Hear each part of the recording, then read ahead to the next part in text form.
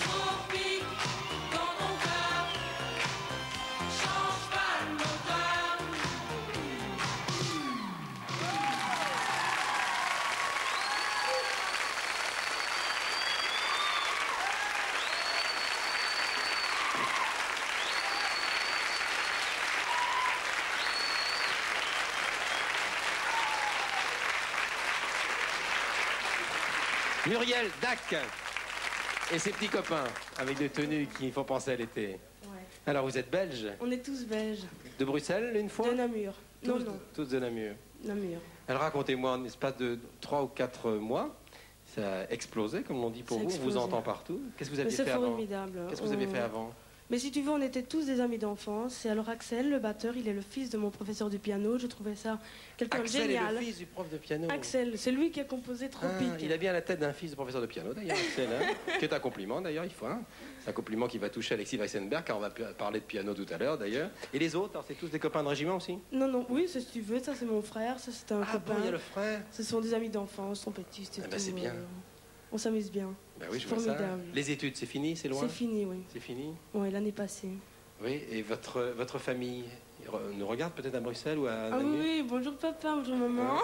les, Bel- non, les Belges euh, qui suivent la RTB de temps en temps regardent assez souvent Champs-Élysées. Oh, absolument, Oui. absolument. Vous savez que dans notre équipe, on a un Belge Et je sais. qui s'appelle. Pierre Ronin. Oui, oui. On va maintenant accueillir Maurice Béjart, oui. qui est né à Marseille, même si l'on dit qu'il est d'origine belge. Et les ballets du XXe siècle de Maurice Béjart sont au Palais des Congrès jusqu'à la fin du mois de mars. On va voir un extrait, le concours.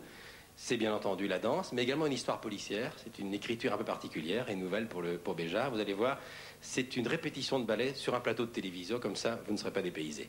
Les ballets du XXe siècle. Maurice Béjart, merci Muriel Dac, à bientôt.